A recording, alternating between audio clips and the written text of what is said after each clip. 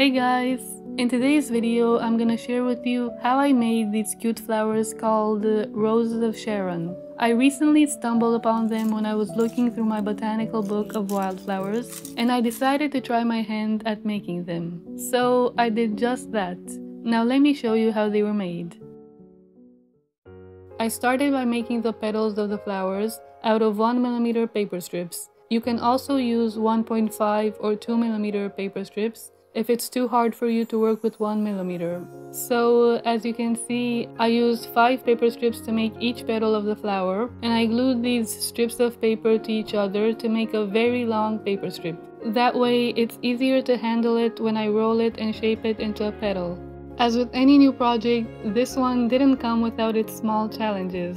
But the end result was worth it because now I have a new flower to add to my collection of quilling flowers. Maybe one day I'll share them with you guys in a separate video. Now uh, back to the roses of Sharon. There's a variety of them but uh, I chose to make the yellow version because I was really drawn to its very long stamens. I thought it would be very nice to make those long fringes. You will see that very soon.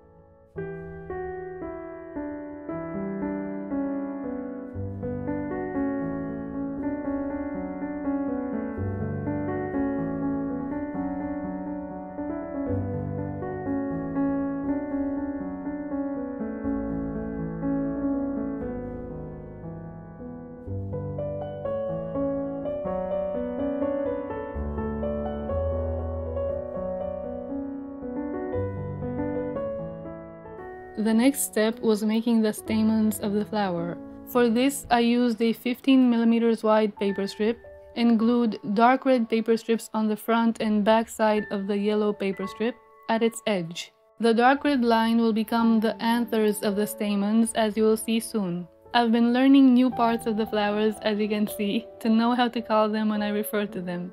Also, I wanted to mention that my first try at making the stamen failed, and so I had to retry, but uh, fortunately, with the second try, I was pleased.